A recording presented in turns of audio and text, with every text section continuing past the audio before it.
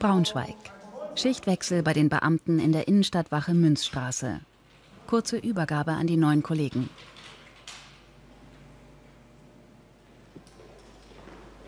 Für die Kommissare Frank Vogtländer und Sina Begemann beginnt jetzt die Spätschicht.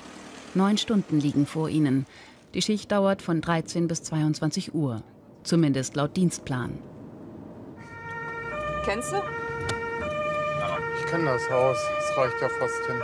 Okay. Der erste Einsatz. Ein junger Mann randaliert in seiner Wohnung. Kein Unbekannter. Was sie vor Ort erwartet, wissen die Polizisten nicht. Selbst harmlose Einsätze können schnell kippen. Zweite vorwärts, Nordseite zur nach Braunschweig. Tja, ich glaube er hier, ne? Deshalb sollen auch bei kleinen Vorfällen immer zwei weitere Kollegen unterstützen. Doch nicht immer gibt es genug Personal. Heute schon. Vom Vater wurde ich zusammengetreten, von der Mutter wurde ich fast überfahren, vom Bruder mit der Knarre bedroht. Und was ist los? Ich habe nicht einmal die Hand gehoben gegen diese Frau. Denkst du, einer von Eine Familienangelegenheit. Der junge Mann ist wütend und will sich nicht beruhigen.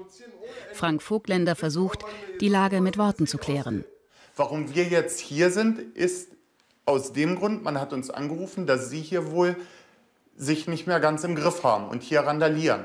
Und das wiederum ruft die Polizei sehr wohl aufs Spielfeld, ne? weil das geht nicht. Sie müssen sich hier schon ein bisschen benehmen. Äußerlich ruhig. Doch gerechnet haben sie mit etwas anderem. Ja, hat, das hat man daran gesehen, dass er ab und zu seinen Pullover auf und zugemacht hat. Dann hat er ihn ausgezogen, dann hat er mit den Fäusten die ganze Zeit gepumpt. Das sind immer so Anzeichen, wo man sich äh, schon darauf einstellen kann, dass äh, das Ganze gleich kippt. Aber zum Glück ist es in die andere Richtung umgeschlagen, dass er dann doch noch mal zur Ruhe gefunden hat. Streife fahren. Das ist eine alltägliche Arbeit für die beiden Polizisten. Und zwar eine besonders wichtige. Ja, auf jeden Fall. Ähm, wir werden ja auch ab und zu mal angesprochen, dass sie sich freuen, dass äh, man öfter mal in der Nachbarschaft bei denen rumfährt, ähm, insbesondere in Hinsicht auf Einbrüche. Da, alleine schon, wenn wir da durch die Nachbarschaft fahren, fühlen sich die Leute sicherer, weil dann ein Einbrecher wahrscheinlich zurückschreckt, da jetzt irgendwo einzusteigen, nur weil wir da vorbeifahren. Und könnt ihr das denn personell wuppen, dieses, diese Präsenz zeigen? Also einfach mal losfahren und gucken? Nicht immer. Also klar geben wir uns Mühe, das auch irgendwie hinzukriegen, aber ähm, es gibt halt auch einfach Schichten, wo wir von einem Einsatz zum anderen fahren, wo wir das schon fast nicht mehr hinbekommen. Das Ganze muss ja auch später irgendwann zu Papier gebracht werden. Äh, da dann noch Präsenz zu zeigen, ist oft schwierig, ja. Aber wichtig ist es. Auf jeden Fall. Ist ja auch eine der Kernaufgaben der Polizei. Wir sind hier gerade auf, Auf dem Weg zur Wache der nächste Einsatz. Plötzlich im Vorbeifahren. auf dem Boden. Wir gucken mal, was da los ist. Oh, wie sehen Sie denn aus? Deswegen ist das ja passiert. Mensch, Eines der Hauptprobleme für die Stadtpolizisten, die Trinkerszene. Getrunken wird überall in der Stadt, zu jeder Tageszeit.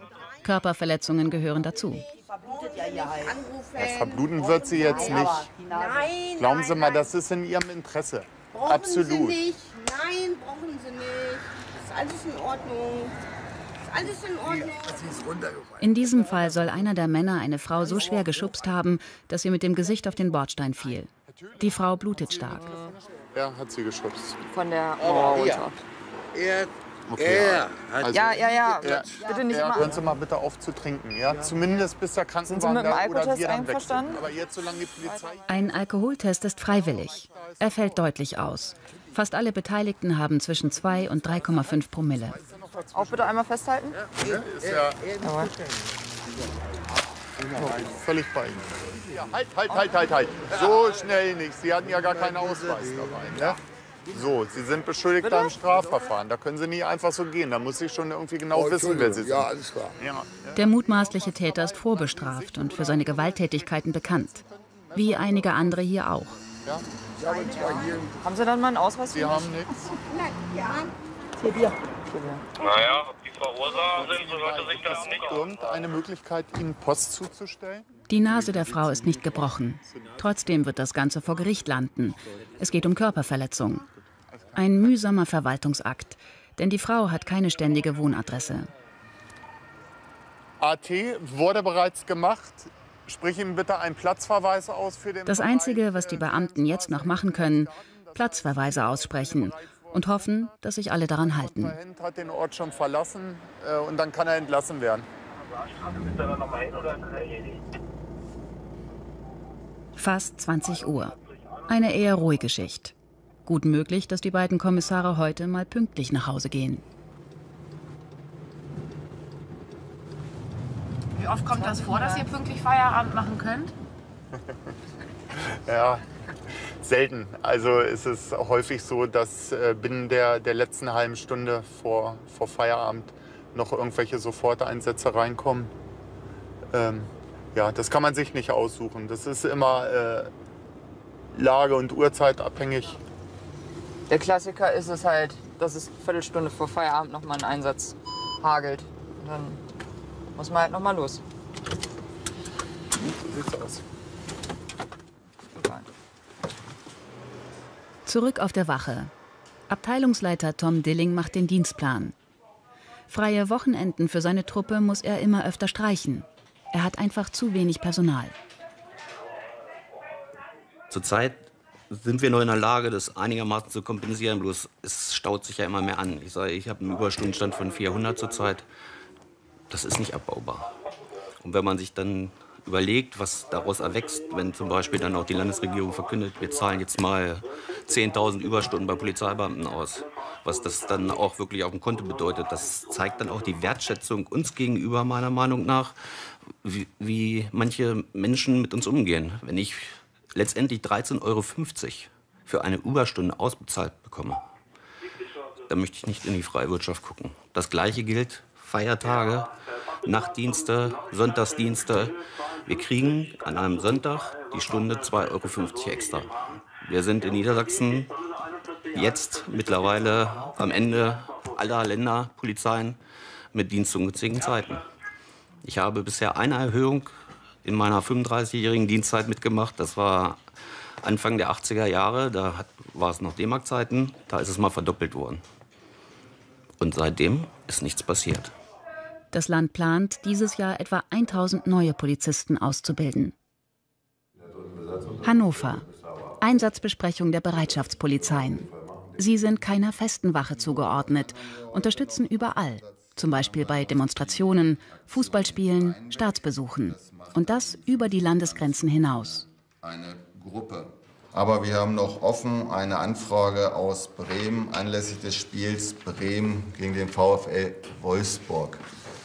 Wenn wir die siebte entsenden würden, hätten wir noch Restkräfte in der sechsten, äh, um die Stärken zu erreichen?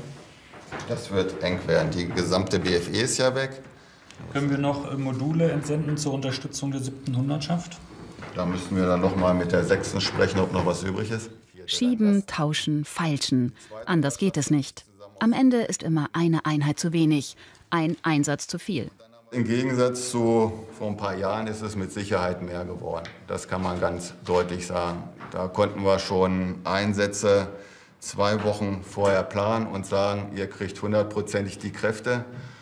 Und jetzt sieht es so aus, dass da teilweise zwei Tage vorher noch größere Einsatzanlässe reinkommen, wo man dann mal betrachten muss, ob man die eigentlich schon zugesagten Kräfte auch noch stellen kann. Das heißt, wo man früher weniger Kräfte gebraucht hat, äh, äh, braucht man heute mehr Kräfte. Und das alles aus einem gleichbleibenden Kräftekuchen, der nur einmal verteilt werden kann. Das spüren auch Bereitschaftspolizisten in Braunschweig.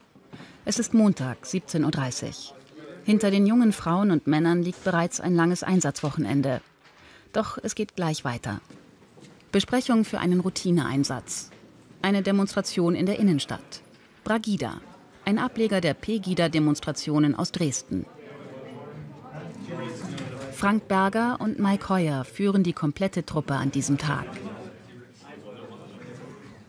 Sie tragen auch die Verantwortung für die jungen Polizisten. Und sehen, was denn kommt. Genau. Wir haben Teil 1 ganz kurz Bagida. Das werden wir heute wie immer kurz fassen, weil das ist die wievielte Bagida-Veranstaltung heute, die 53. Ich weiß es gar nicht. Also schon sehr lange. Wir haben äh, Bragida ein verändertes Zeitfenster. Das geht nämlich heute bis 23 Uhr. Aber Bragida, Pegida, Ligida ist ja jetzt ein Phänomen, was ja eher neu aufgetreten ist. Bindet das in, besonders auch Kräfte?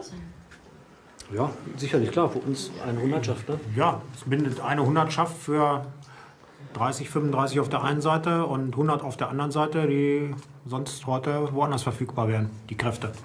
Also eine Hundertschaft ist schon eine ganze Menge für so eine Lage. Und das immer wiederkehrend montags. Ja. Und nicht nur in Braunschweig. Das in der Regel nach einem Einsatzwochenende, ne? Dann, wo man dann sonst Montag freimachen könnte, sind wir halt regional bedingt halt immer noch weiterhin im Einsatz. Ne? Dann den nächsten Tag. Ist so. Eigentlich sollte die Einheit heute ein Zweitligaspiel der Eintracht Braunschweig begleiten. Das übernehmen nun Kollegen aus Lüneburg. Die Bragida-Demo ist zumindest heute sogar Teil der Stadtführung. Auftrag der Polizei, die Bragida-Demonstration vor Übergriffen der Gegendemonstranten zu schützen. So sieht es das Versammlungsrecht vor. Wir machen die Sperrlinie so wie beim letzten Mal. Von hier von der Ecke Dom rüber. Anne Siebert, Polizeikommissarin, 27 Jahre alt und Gruppenführerin. Sie war bei fast jeder Bragida-Demo dabei. Also ich denke mir immer, ähm, klar, souveränes Auftreten, also sprich äh, gewisse äh, Körperspannung und ein, ja, eine gewisse Körperhaltung. Äh, ansonsten darf man sich davon natürlich nicht irgendwie ähm, provozieren lassen oder aus der Ruhe bringen lassen. Ähm, äh, solange es nicht in das Gewalttätige, also in das Körperliche geht, ähm, gibt es da keinen Grund, großartig irgendwie sich aus der Ruhe bringen zu lassen. Ne? Geht los. Es geht los. Die Demoroute ist kurz, nur wenige hundert Meter einmal um den Block. Trotzdem müssen die Polizisten Gegendemonstranten und Demo-Teilnehmer aufwendig trennen. Habt ihr auch mit, ne? Hier kommt jetzt keiner durch. Und die werden dann so rübergeschoben. Wir werden dann so schräg aufklappen wahrscheinlich.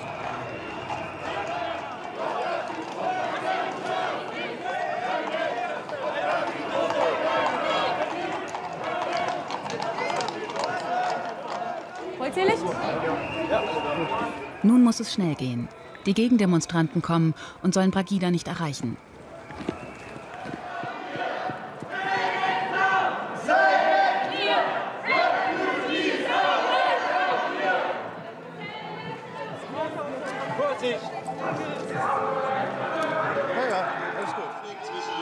Zu Wort kommt hier heute keiner mehr. Sagt dann Bescheid, wenn ihr anfangen.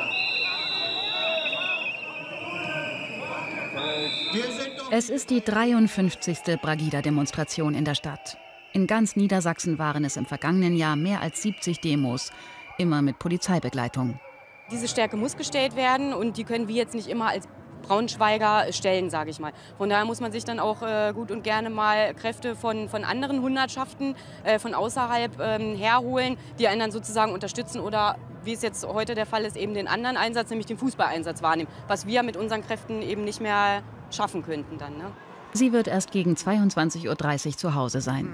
Und so für Sie jetzt so privat, ähm, wie macht so der Freundeskreis und das Umfeld das dann alles so mit?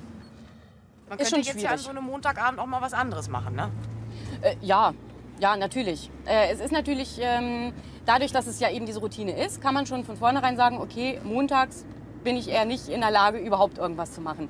Ähm, das Wochenende ist dann natürlich immer schon ein bisschen schwieriger, weil da wäre eher so ein Tag, wo man sagen würde, gut, dass man am Wochenende vielleicht mal irgendwas unternimmt.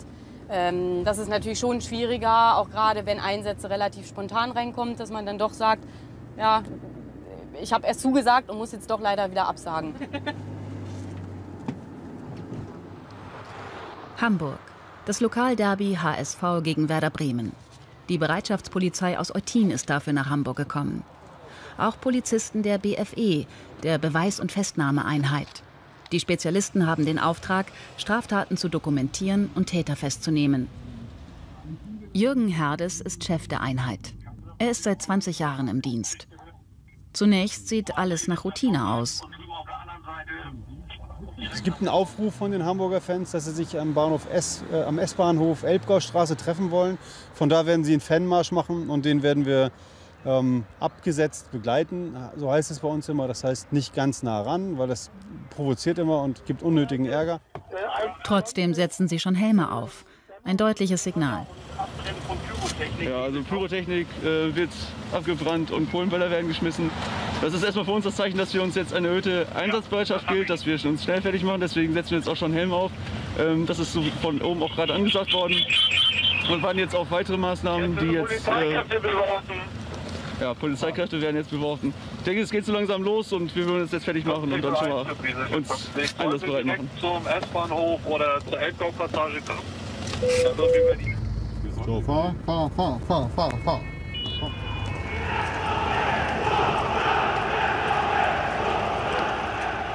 Stellen uns in Doppelreihe dahinter. Kräfte mal links rauf, Werfer von hinten. Die Beamten treffen auf Hunderte aufgebrachter Fans. Nach einem friedlichen Marsch sieht das nicht mehr aus. Die Fans, zum Teil vermummt, zünden immer wieder Böller. Herdes und seine Truppe müssen die Taktik ändern. Gegen die Truppaufstellung, ne? Du nicht mal aufhören, mit deiner Kamera zu filmen? Geht das nicht? Bitte? Ich mache einmal eine Ansage und brauche nicht filmen. Ey! Finger weg, Mann. Finger weg. Brauchen wir nicht filmen? Wir machen hier die Ansagen.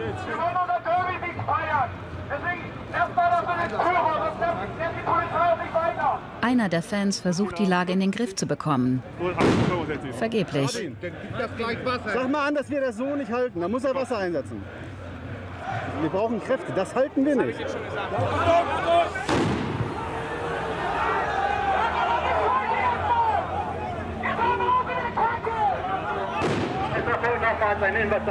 Ja, zu blöd, ne? Das sind ihre eigenen Leute. Ja. Kommen wir hier jetzt nicht durch? Nein, ist gesperrt. Wie lange? Sollten Sie die Vermummung nicht ablegen und sollte noch ein Wir warten darauf, dass die die Pyrotechnik nicht mehr werfen und auch die Vermummung ablegen. Dann begleiten wir einen Fanmarsch. Ob die das in ihrer Gruppe umgesetzt bekommen, das ist spannend. Da bin ich mal sehr gespannt. Schauen wir mal. Die nächsten Böller. Das ist nicht zu glauben. ihr könnt ja einen Fanmarsch machen, aber ihr müsst friedlich sein dabei. Ich bin auch friedlich. Ja, ich Sind auch. Sie auch? Ich Sie auch. drohen uns doch Gewalt an, oder nicht? Na, wir drohen nur, wenn ihr droht. Geht um oder was? Die Gruppe dreht um. Gleichzeitig greifen weiter entfernt Fans einen Wagen der Polizei an. Bundesweit mussten in der vergangenen Saison 749 Spiele durch Polizisten begleitet werden. Los rein, rein, alle rein! Bei Auseinandersetzungen wie dieser werden immer wieder Fans und Polizisten und auch Unbeteiligte verletzt. Da können wir ja nicht zugucken. Der Auftrag? Straftäter finden. Rennen jetzt alle hinten rum, ne? Ja. Doch die Suche gestaltet sich schwierig. Die. Wo sind die gewalttätigen Fans? Hast du den Standort von ihm? Den Standort? Ja, ich glaube nicht. Es dauert einen Moment noch. Ja, höchstens. Was war da los? Naja, der Fanmarsch hat sich aufgelöst. Von daher müssen wir jetzt mal sehen, wo die ganzen Fans abgeblieben sind. Die müssen ja doch irgendwie noch zum Stadion kommen. Und da müssen wir sehen, dass wir trotzdem dranbleiben jetzt. Konnten Sie den Flaschenwerfer festlegen? Nein, bis jetzt nicht. Ja, alle weg. Ja, alle weg. Weiß ich auch nicht. Alle bei mir in der S-Bahn. Und ich renne hier rum. Sind die mit der S-Bahn gefahren? Ja, klar, du? Ah, okay. Schon lange gibt es Forderungen an den Deutschen Fußballbund, solche Einsätze mitzufinanzieren. Denn jeder Einsatz der Polizei wird aus Steuergeldern bezahlt. Kurze Unterbrechung bei der Tätersuche. Ja, guck mal, dann, dann habt ihr euch hier gefunden. Perfekt. Gut delegiert. Ist das jetzt ein bisschen entspannter oder? Ja, das war jetzt gerade, sind zwei Fans aus England, die haben keine Karten und wollen gerne wissen, wo hier eine Kneipe ist. Die habe ich jetzt gerade noch vermittelt Ja. an die Hamburger Fans. Äh, ansonsten warten wir jetzt auf die, äh, wir haben ein paar Straftäter aufgenommen, auch auf Video. Und wir warten jetzt hier an den jeweiligen Stellen, wo sie denn ins Stadion müssen und gucken mal, ob wir die wiedererkennen, um sie dann festzunehmen. Heute finden sie niemanden. Der Einsatztag geht zu Ende. Einer von vielen in diesem Monat.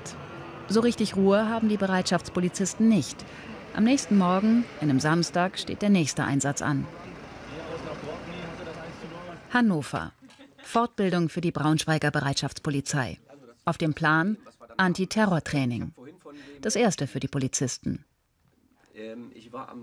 An den Wänden martialische Schlagzeilen zur Terrorgefahr. Das Thema beschäftigt Deutschland. Seit kurzem erst werden die Beamten auf Terrorlagen vorbereitet. Eine spezielle Ausrüstung haben sie nicht. Sie sind aber die Ersten, die bei Terroranschlägen vor Ort wären. Geübt wird auf einem verlassenen Kasernengelände. was FX-Waffen angeht und auch äh, MP5.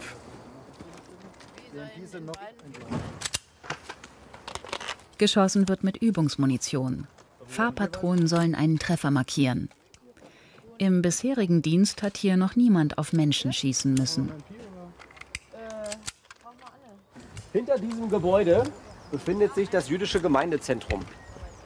Und ähm, ihr seid in einem Einsatz zum Schutz dieser Veranstaltung eingeteilt, dürft aber nicht direkt vor das Gebäude.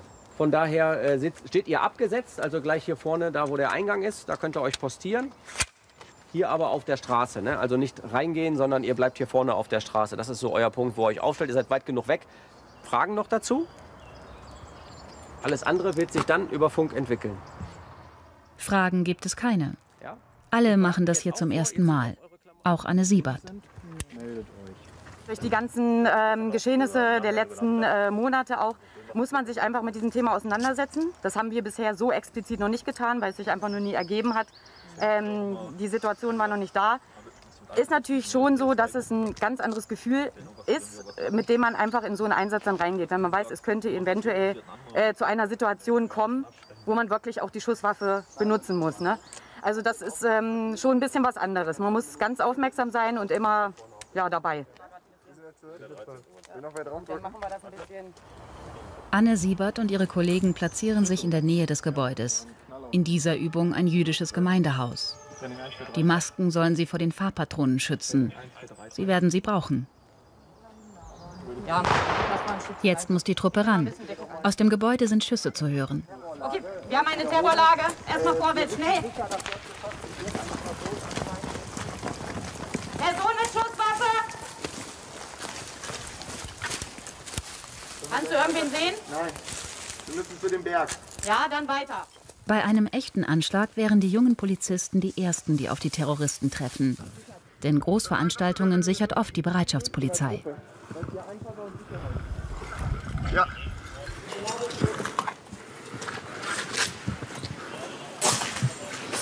Wir haben Täterkontakt.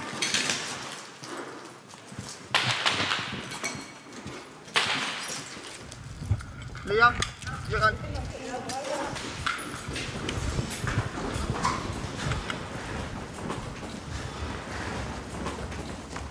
Abstand! Granate!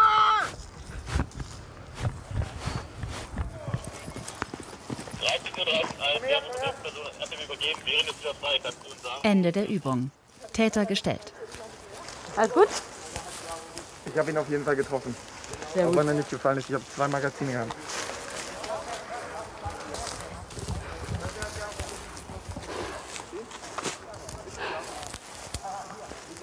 Wie lief's? Ja, also letztendlich natürlich eine sehr, ich drück's mal nett aus, unangenehme Situation. Ähm, erstmal schwer einsehbar überhaupt der Bereich, sich überhaupt dieser Personengruppe äh, zu nähern und dann auch noch ausfindig zu machen, wer ist jetzt dieser äh, sogenannte beschriebene Täter. Fand ich sehr bemerkenswert, sehr gut. Dann schnell Überblick verschafft. War eine sehr gute Idee äh, von Nick, als er gesagt hat, wir gehen einfach in das Haus rein. Ähm, da haben wir einfach die besten Möglichkeiten, da zwischen den Fenstern immer wieder Deckung zu nehmen und zu suchen. Und rechnet vielleicht auch keiner unbedingt mit, dass wir uns jetzt in dem Gebäude befinden und nicht außen lang gehen. Äh, ich glaube, das war auch unser Vorteil. Ansonsten hätte es bestimmt einen von uns getroffen, gehe ich stark von aus. Weil Schusswechsel war jetzt auch nicht gerade minimal. Längst nicht alle Bundesländer haben für ihre Bereitschaftspolizisten spezielle Antiterrortrainings vorbereitet. Oft fehlen die Zeit und mal wieder das Personal. Steht 034. Braunschweig. In der Spätschicht von Frank Vogtländer und Sina Begemann geht es um eine Bagatelle. Ein Falschparker. Aber es ist täglich so. Gib dir mal ein Kennzeichen, probieren wir mal den Halter zu erreichen. Warten auf den Abschlepper. Das kann dauern. Doch sie haben Glück. Die Fahrerin kommt zufällig vorbei. Der Abschlepper kann wieder umdrehen. Folgendes, weshalb wir hier sind. Die Herrschaften wollten raus. Konnten sie nicht.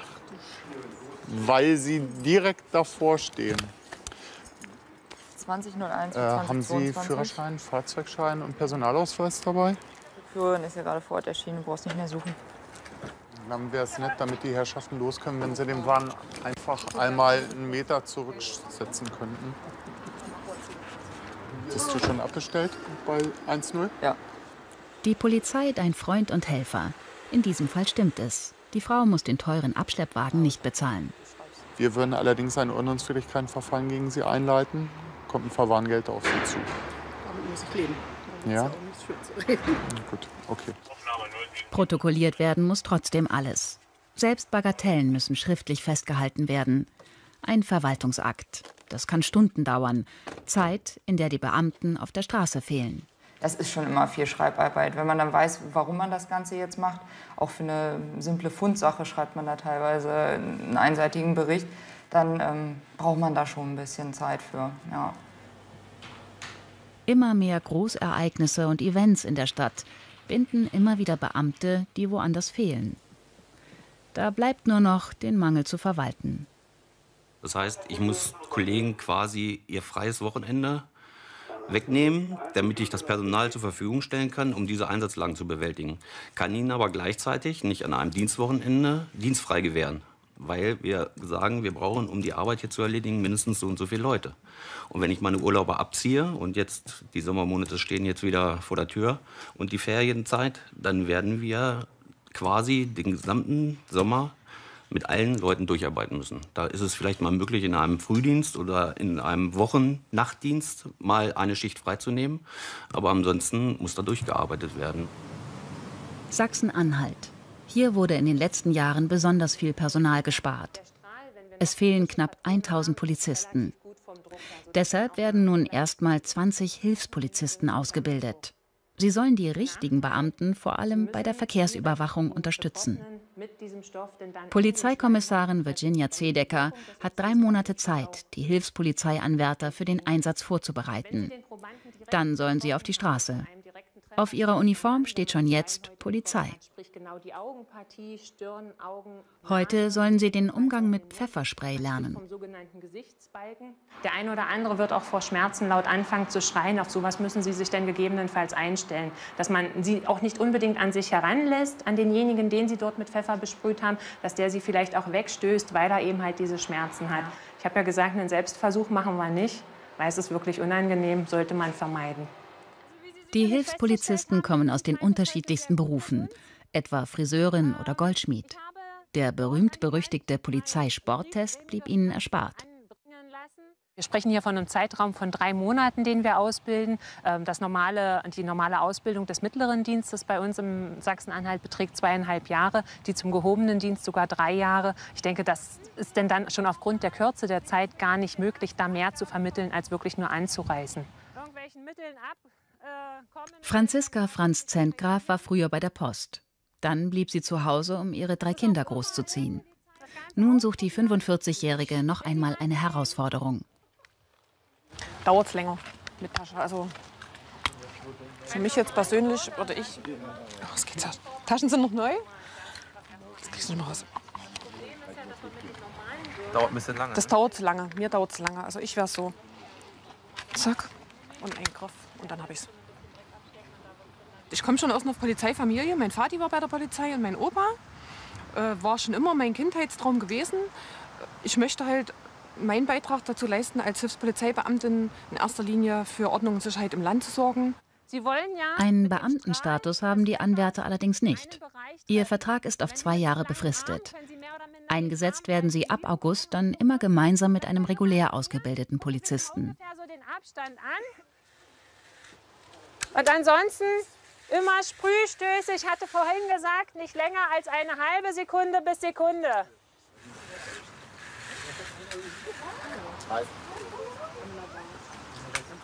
Person ansprechen, gehen Sie zurück, unterlassen Sie die, Haltung, die Handlung oder ich werde Pfeffer einsetzen. Macht da nicht. Pfeffer sprühen und ausweichen. Ja? Natürlich immer Aus 160 Bewerbern wurden 20 ausgewählt. Dabei kam es aber nicht nur auf ein sauberes polizeiliches Führungszeugnis an. Das, was so der Körper automatisch eigentlich Auf einer Seite ist es schon mal dieses Auftreten, weil man ist ja in der Öffentlichkeit präsent. Ja, man sollte so schon ähm, sich gut verkaufen können. Kommunikativ ist das auch immer so eine Geschichte. Teamfähigkeit, alles das, was so den guten Umgang generell unter den Kollegen äh, nur fördert. Hören Sie auf, ich werde Pfeffer einsetzen.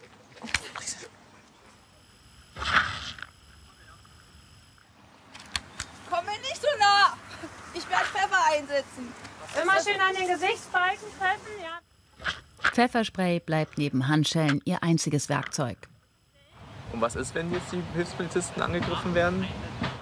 Also im Prinzip ist es immer so die Richtung einfache körperliche Gewalt. Das, was jeder normale Mensch auch denn dann machen würde, steht ihnen natürlich genauso zur Verfügung. Ja.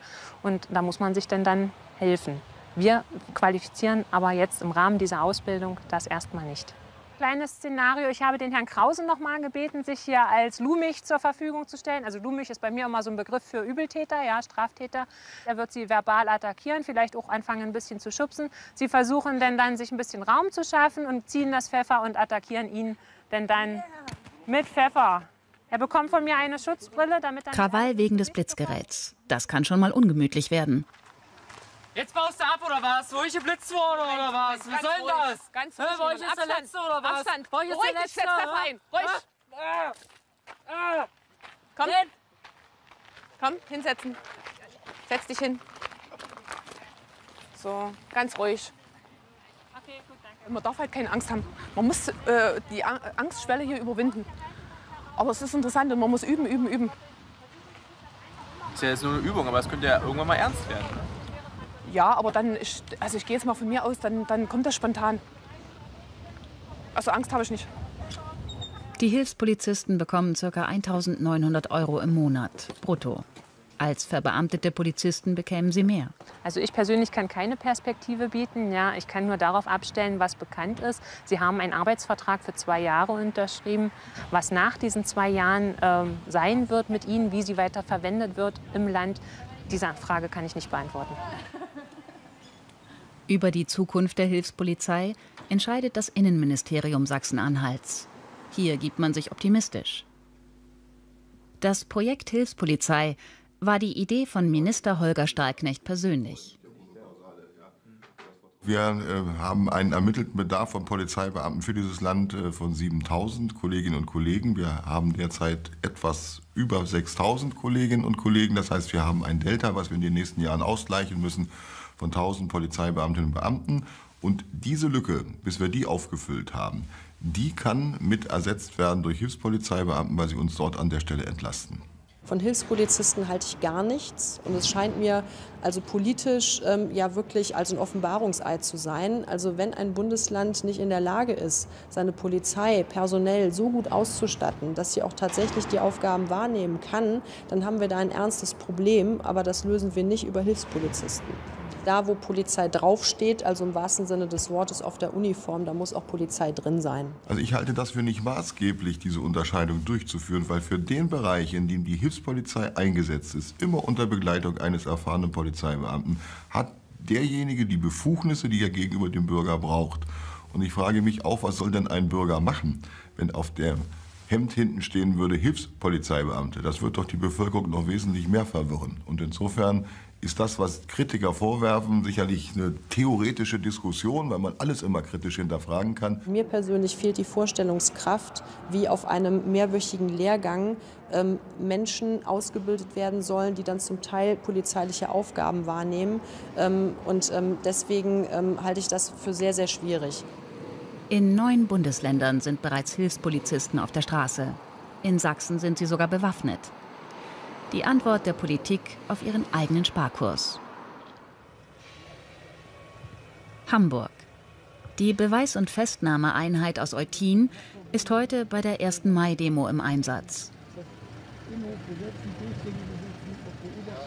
Bei einer Routineüberprüfung finden sie plötzlich selbstgebaute Sprengsätze in den Rucksäcken einiger Jugendlicher.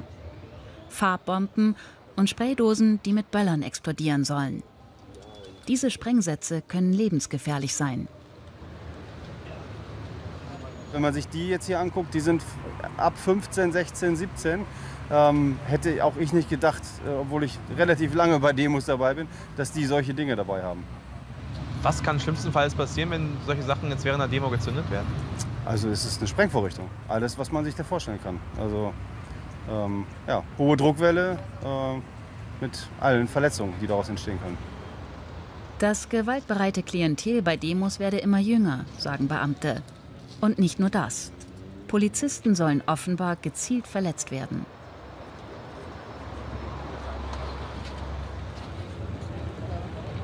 1650 Polizisten aus drei Bundesländern sind in Hamburg an diesem Tag im Einsatz.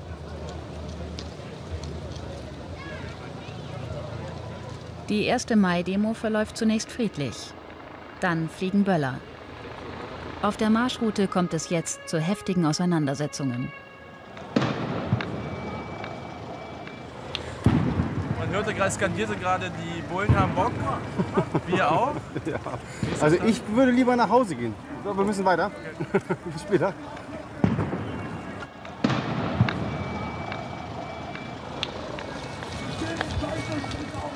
Ja, links, links. Demonstranten berichten jedoch, auch einige Polizisten würden immer brutaler. Die Fronten sind verhärtet.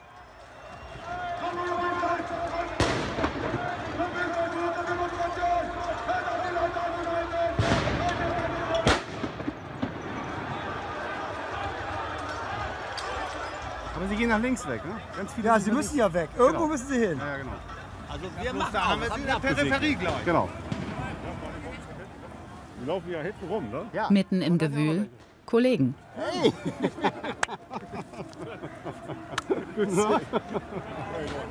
Was macht ihr denn hier wieder? Das heißt, Ihre Versammlung ist hiermit aufgelöst worden. Sie haben die Pflicht, sich zu entfernen. Ich befürchte fast mal, dass wir alles aufmachen. Das glaube ich auch. Diese Versammlung ist hiermit durch die Polizei aufgelöst worden. Ja, gut, wir, machen, wir gehen an die Tankstelle und wir Ja. müssen gucken, dass wir die Grünfläche im Auge behalten. Demonstrationen werden aus Sicht der Polizei immer öfter zum Katz-und-Maus-Spiel. Experten sagen, politische Forderungen treten hinter den Eventcharakter zurück. Also die Demo ist jetzt aufgelöst worden von der Polizei, weil es unfriedlich geworden ist. Das heißt, die ganze Einschließung wird jetzt gerade geöffnet und wir reagieren jetzt nur noch darauf, ob es weiter unfriedlich bleibt.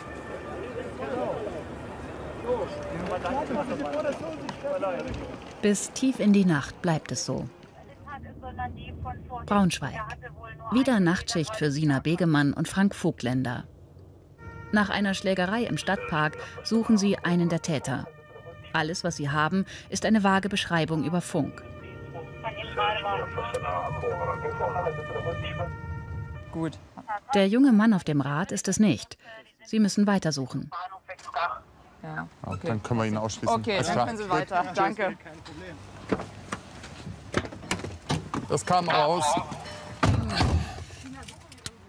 Ja, jemand mit einer roten Trainingsjacke und darüber einen schwarzen Kapuzenpullover. Und das hat ja bei ihm so ein bisschen gepasst. Einen Computer mit einem Fahndungsfoto haben sie nicht dabei.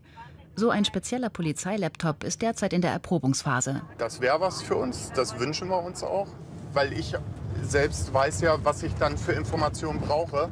Wenn ich die schwarz auf weiß auf dem Tablet vor mir habe, ähm, dann kann ich die sehr viel besser für mich selbst filtern, als wenn das ähm, Dritte für mich tun. Sprich, jetzt ist es so, dass wir über Funk äh, unsere EDV-Stelle ansprechen. Da sitzt ein Kollege oben in der Leitstelle und ähm, gibt uns dann die Information weiter, die er dann entsprechend sieht äh, und trifft so eine Vorabauswahl. Insbesondere bei Personenbeschreibungen. Also viele haben ja eine Kriminalakte mit Bild. Bevor mir da ein Kollege über Funk fünf Minuten lang beschreibt, wie die Person aussieht, könnte ich, ja, dann könnte ich äh, mir einfach ein Bild angucken und dann weiß ich es halt genau. Hört sich nach einer sinnvollen Sache an. Doch wann die Polizei flächendeckend damit ausgestattet wird, ist noch unklar. Nächster Einsatz. Diese Geburtstagsparty endet früh. Eine junge Frau ist total betrunken, nicht mehr ansprechbar. Die Rettungssanitäter kommen dazu. Ihr Zustand ist ernst. Es besteht der Verdacht auf Drogen im Getränk. Damit haben es die Beamten immer öfter zu tun. Ja, ich weiß, es ist Ihre Freundin, verstehe ich auch. Bei Daniel, sie. Hat aber, Nein, ich will nicht sie hat aber einfach nur ein bisschen tief ins Glas geguckt. Ja? Also, Sie hat drei Mischen und zwei Tequila.